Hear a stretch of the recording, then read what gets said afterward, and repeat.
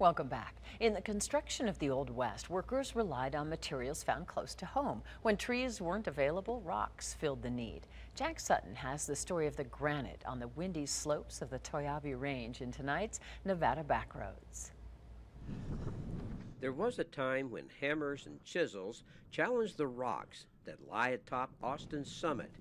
A time when stonemasons ascended these mountains to claim the granite that would build a town back in the day, it was the, the, the rock outcrops that were originally here. They used uh, the granite outcrops to quarry the stone to build the buildings. These here are samples of the two rocks that, you, that the old timers would be looking at. This rock here would be no good for building, whereas this rock would be ideal for building.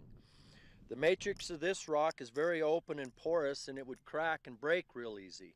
This rock here is much tighter, much harder, and it would withstand the pressures and last much longer. From local rocks, craggy, irregular, and weathered, stonemasons created smooth shapes, first seen by the mind's eye. They didn't use a lot of lumber to build out in this area because when they were building these buildings, it was in the 1800s, and lumber mills and, and a good source of lumber was hundreds of miles away, and it was easier just to use the native material that was on site.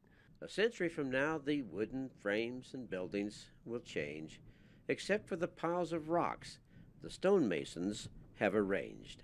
It's a really solid building material and it uh, would last longer than concrete. Reporting atop Austin Summit, Jack Sutton, Channel 2 News.